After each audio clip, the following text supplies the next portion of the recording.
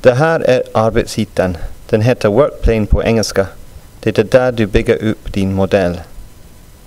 Kameraverktygen är i vänstra hörnet. Pilarna roterar kameran.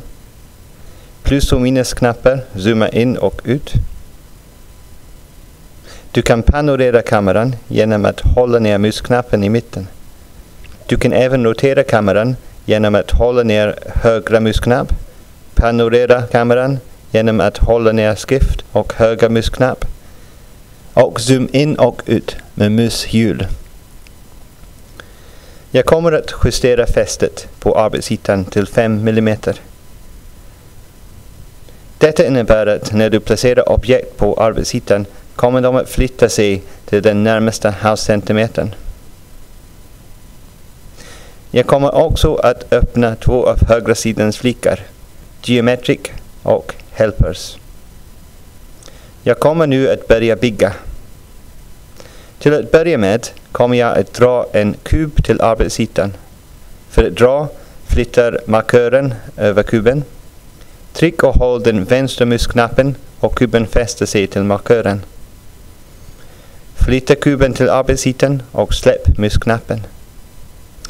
Klicka med den vänstra musknappen på ett objekt för att välja det.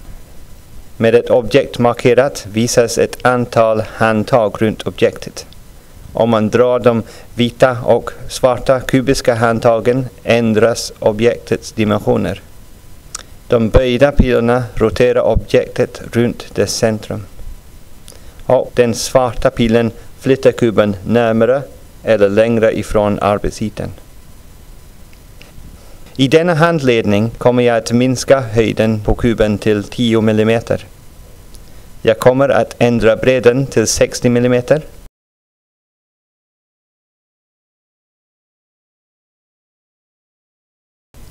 och längden till 80 mm, alltså blir kuben ett rätt block.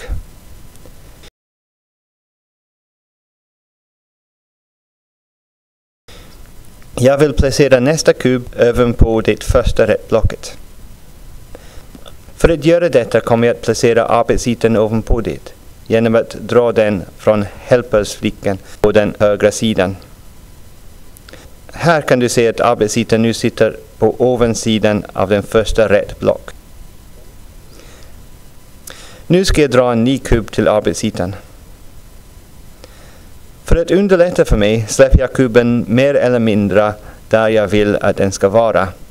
Det är dock möjligt att flytta kuben genom att markera den och dra den med musen eller knuffa den med piltangenterna. Jag kommer nu att ändra bredden på det nya blocket till 60 mm. Längden till 10 mm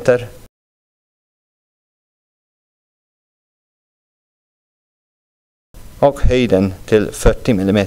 Alltså, det blir till ett rätt block. Det nya rättblocket ska nu vara 2 cm från bakre sidan av det första rättblocket. Om det inte är det, dra eller knuffa det till rätt position. Sen ska jag placera ett halvcirkelformat prisma ovanpå det andra rättblocket. Jag kommer att dra arbetsytan till ovansidan på det andra blocket. Och sen en halvcirkelformat prisma till arbetsytan från Geometric-fliken. I detta fall har prismat den rätta riktningen. Men om det inte är det använder man de böjda handtagen för att rotera den. Jag kommer att ändra längden på prismat till 10 mm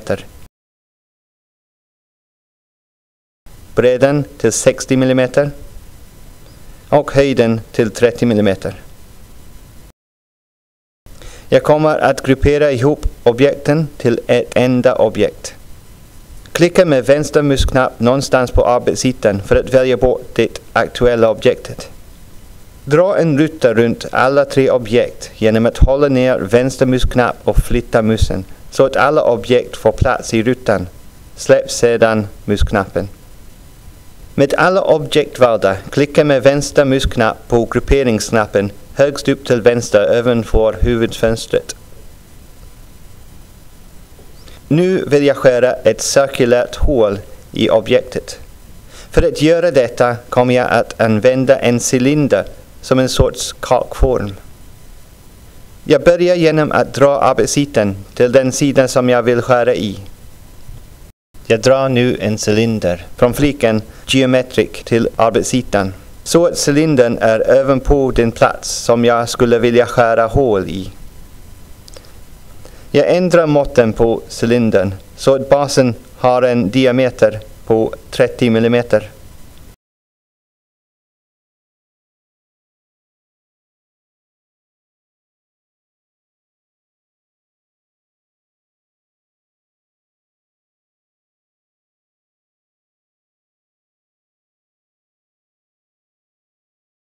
Och höjden har samma tjocklek än huvudobjektet, 10 mm. Med svarta pilhandtaget på cylindern flyttar jag cylindern så att den är helt inne i huvudobjektet.